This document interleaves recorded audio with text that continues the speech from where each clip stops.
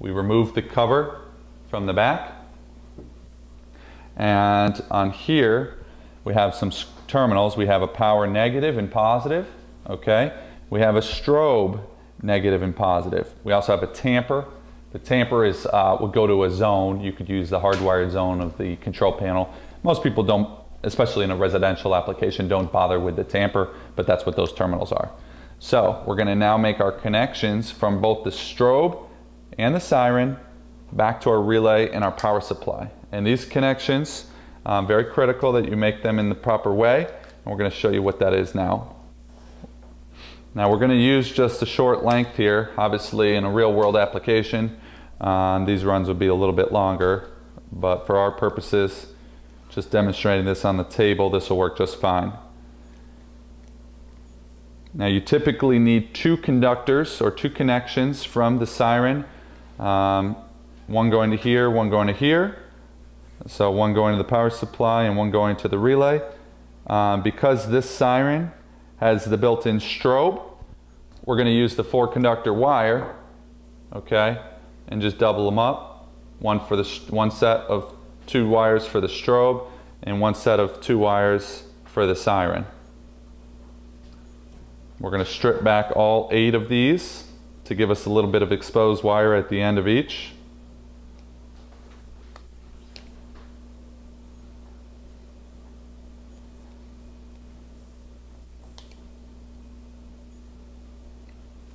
Your wire strippers will give you the notches for the gauge of wire that you're working with. Again, we're, for us, we're using 22 gauge, which is very typical alarm wire size. 18 gauge works as well.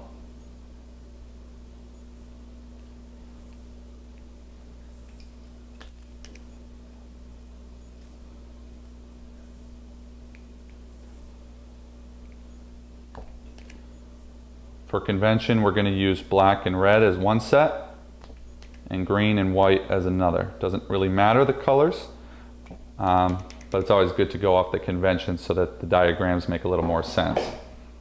So, um, because on our siren, the siren is down here and the strobe is up here, obviously, um, if you're only going to cut down that much, you wouldn't be able to make these connections. So uh, we're going to strip this insulator back quite a bit more.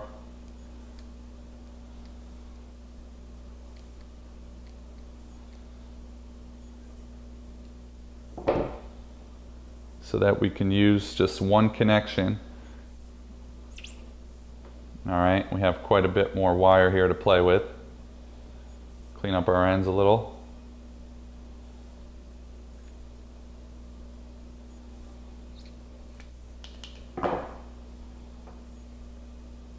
Now that we've stripped down our insulating sheath, we have our four conductors and we have a nice length of wire to work with, okay? We're gonna use black and red for our siren, green and white for our strobe. On the back of our siren, we have this nice little wire hole. So we're gonna feed all four conductors from the back to the front.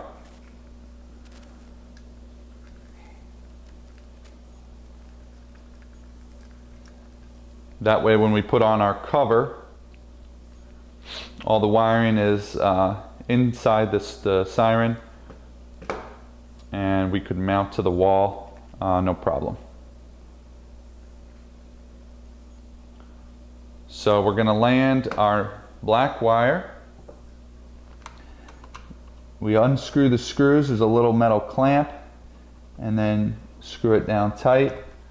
Our negative power Twist the end so that the uh, stranded wire doesn't fray as you insert it. Open up the positive side, land the red wire. And then we go up to the top for our strobe. Flip it around. We have enough wire to land. If we hadn't stripped that down, you could see how you'd run out of wire here. On our strobe, we have our negative. It's labeled negative. Probably can't see it in the video, but when you're working with it, you'll see it. This one says negative, this one says positive. We're going to take our green to positive.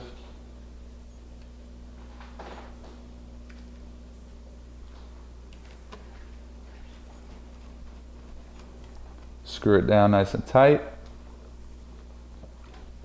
And we now have our connections for both our siren and our strobe. Okay, so the strobe connections are here, but how does the strobe get connected to the, to the uh, strobe terminals? There is actually a little wire with some spade connectors, and you have two little tabs coming off the top of the strobe.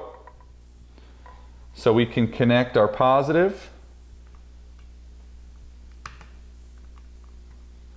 and our negative. Black, red to positive, black to negative. Put our cover on. Okay, you have your two screw holes here to mount to the wall.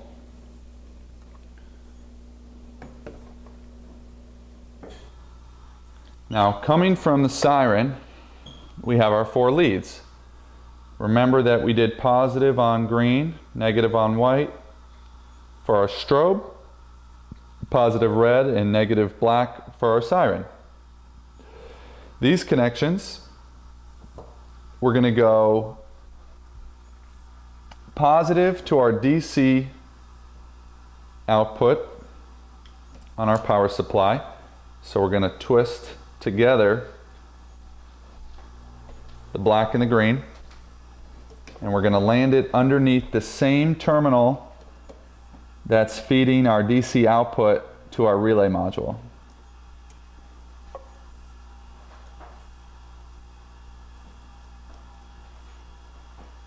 So we're going to have three connections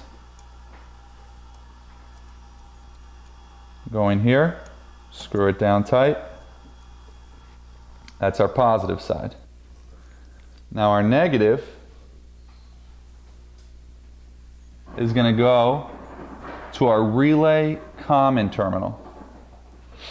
And have a little varying length here. I'm just going to trim this black down a little bit. Restrip the end.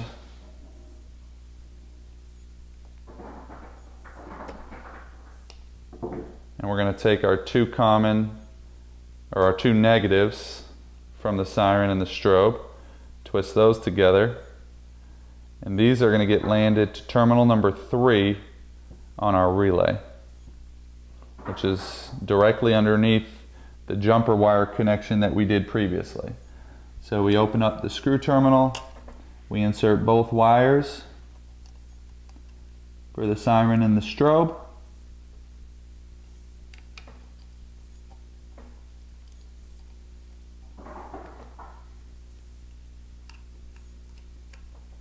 And we screw it down nice and tight. So, obviously much longer wire in real life that you would be playing, that you would be working with, but for our purposes, this demonstrates it. So we have our power supply, our relay, our siren. Just to summarize the connections, we have our DC wiring from our power supply, going to the bottom two terminals on our relay. We have a jumper wire from the bottom terminal to number two at the top here. Okay, and then off our siren, we have our positive and negative for our siren and our strobe. There are positives going to DC output so that the auxiliary power supply is providing power to the siren. And we have our negatives going to our relay common so that the siren will know to kick on when the relay kicks on.